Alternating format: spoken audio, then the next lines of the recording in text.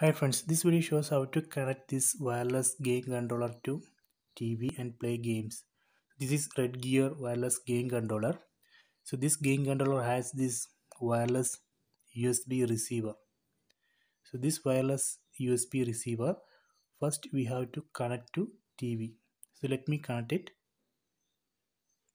Okay done. I have connected that wireless USB receiver to USB port of the TV. Next we need to start the pairing.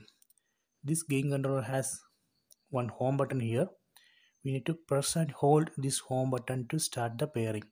So let me press and hold this home button. Okay done.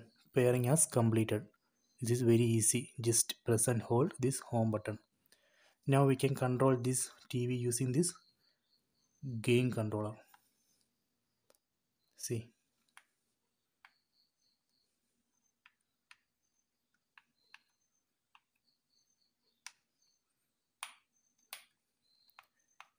okay it's done. So please try this